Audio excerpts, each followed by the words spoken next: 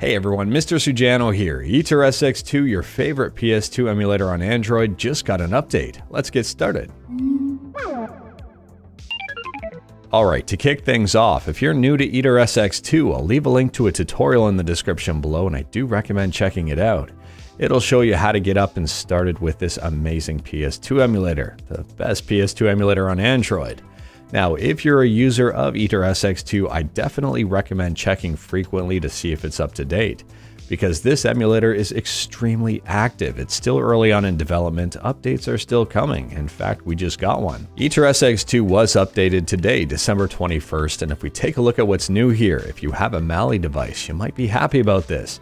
The first thing is a fix for constant color and alpha blending on Mali devices, for example in Silent Hill 2. The next item here is also a very welcome improvement, OpenGL performance optimizations. They did give an example here, Burnout 3 was running at 30 frames a second and now it's running at 45 frames a second at 3 times resolution on a Snapdragon 870. Additionally here for OpenGL, they've also fixed depth copies and readbacks, and if we flip over to the Vulkan renderer, minor rendering fix for Vulkan in some games, for example Xenosaga or Xenosaga, depending on how you want to say that. And last up here, fix traditional Chinese and language selector. Now, while it's great to see these improvements, I don't want to falsely get your hopes up here. If your phone is struggling to run PS2 games, it might still be struggling after these updates.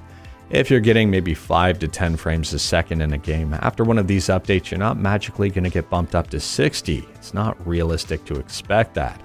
PS2 emulation does require quite a bit of processing power.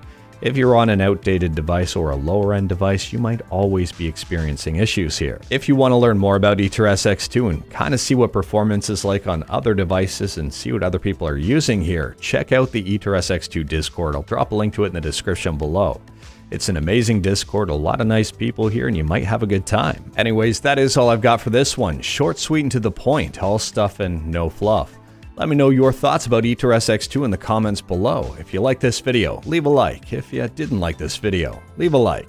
Hit that subscribe button, check out my other videos. Thank you everyone, take care.